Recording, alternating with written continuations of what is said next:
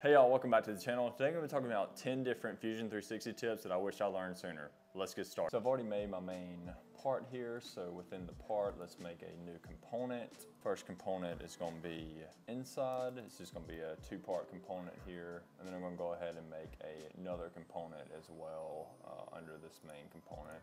All right, and so on the inside component, let's start by making a sketch. I'm going to select the top plane here and then go up to create, rectangle, center rectangle.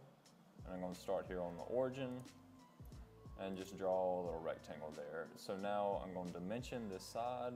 You can do that by clicking create sketch dimension, or you can also use the hotkey D, which does the same thing.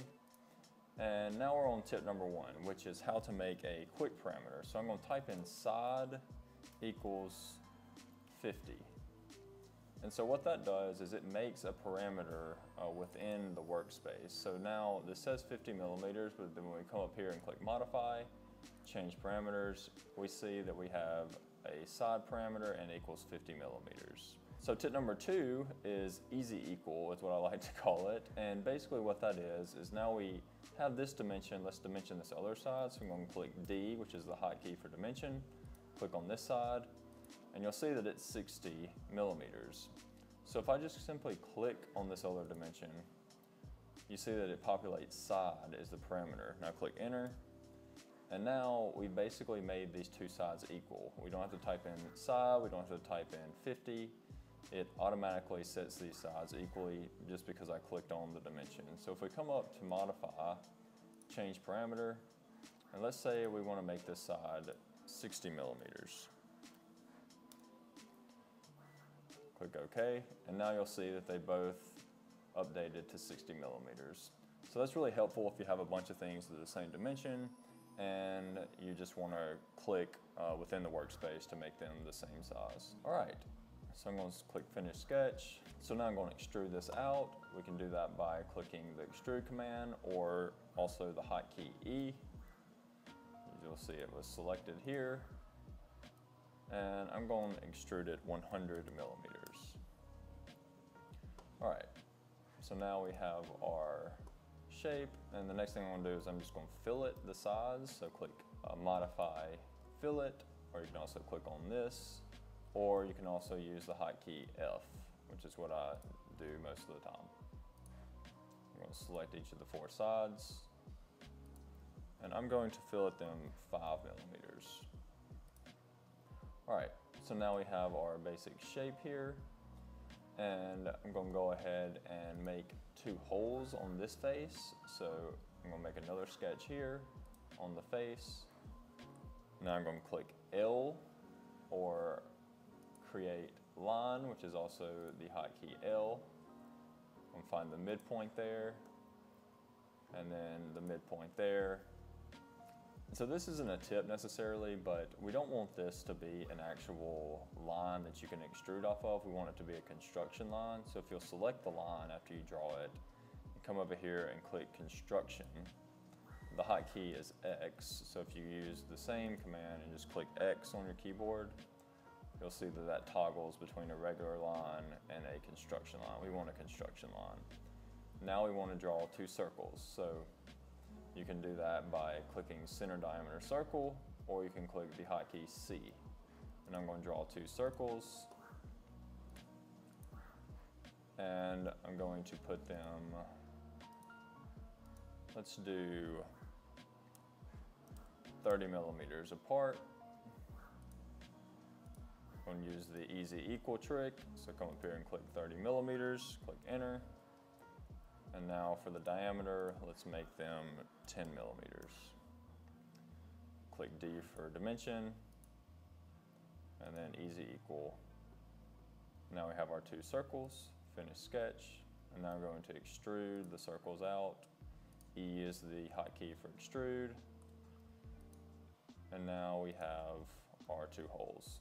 This is all we're going to do for the inside component. Let's go to the outside component. You'll see that the inside turns transparent. And now we want to select create sketch. and then select the bottom of our initial component. And this is tip number three, which is the offset command. So we're gonna go up here and click on offset, and then we're gonna select this border. And this is a really good way to add clearance to your parts. So you'll see here that this is basically just taking the parameter and offsetting it, which is why it's called that. So usually I use a 0.2 millimeter offset. And if you'll zoom in really close, you'll see that basically that gives a little clearance for this part. And now we're gonna make another offset, select that same line again, and make this 3.2. So now we have a three millimeter thick wall. And the reason this is useful is you can imagine if this is a very complicated part, it might be difficult to make a casing like this. So I just recommend using offset. It's really helpful. Like I said, if this is more complicated, uh, offset can really come in handy. So now we have the profile done. Click E for extrude, select the profile, and now just select the top of your previous component and click OK. All right, so now we have our outside component done, and what I wanna do is create holes that line up with those inside holes that we made previously. And the way I'm gonna do that is using tip number four, which is the project command. So we're gonna click create sketch, we're gonna select that face, then we're gonna click on create again and select project. It's also the hotkey P. And this also brings us to tip number five, which is the select through command, which is basically giving you x-ray vision. So this is kind of tip four and tip five combined. So tip four, which is the project command, as you can see here, you click on that, it's just gonna project that face. So if we wanted to extrude off of just the face, then we could do that. But I'm gonna go back and click create, project include, project again. And this is kind of tip number five, which is the x-ray vision uh, type thing that I mentioned. So if you click and hold, it gives you this option to select kind of anything that your mouse was in the vicinity of. So we can select that face, which you already did, or we can select the face under it, or we can select the face behind it, or we can select that face uh, behind it again. So it basically lets you pick what you're trying to click on. So even though I can't see those holes, it's allowing me to select the face that's behind uh, this component. So that's tip number five, which is the select through or select within. So now I click OK, and now we see these two holes. So now I can click E for extrude, select the hole, I'm just gonna do one for now, and then extrude out to the back. And you'll see here, if we select both components, that that hole aligns perfectly with our original hole. And the reason that the project command is really useful is if you go back in time to our original sketch, and say let's change the hole size to 20, and then let's make this 35. Okay, so we move that original hole. What it does is it updates what you projected as well. So as long as it can reference what you were talking about uh, with the project command, it'll update uh, what you extruded as well. So that's really helpful uh, when you're referencing parts based on other parts. So that brings us to tip number six, which is display the different component colors. So the way you do that is click inspect, display component colors, and what this does is it basically assigns a random color to each of the components. And this is really helpful uh, so that you'll know what component you're working in. So if you look down here, we were in the outside component. So if we click on that, you'll see that it gives you the color that the outside component is displayed as, and then you also see that color up here. And then if we click on the inside component, again, you'll see the same corresponding color. So that's tip number six. It's really helpful just to help with visualization purposes. Now tip number seven is isolate the component. So since we only have two components, this isn't quite as useful as when you have 10 or 20 components, but say I just want to see the outside component. If you right click on the component, and you can click isolate. So that lets you see just that single component. And that's really helpful. Imagine instead of two components, we had 10 or 20 components. You might want to just be working on one uh, so that you can kind of focus on that. So that's really easy to isolate. And what that does is just hide all the other components. So if we click on it again, click unisolate, it brings all the other components back. And now another tip for the components is change the component opacity. So if we go up here, right click again, click opacity control, and let's make it say 40%. And then we click on the main component.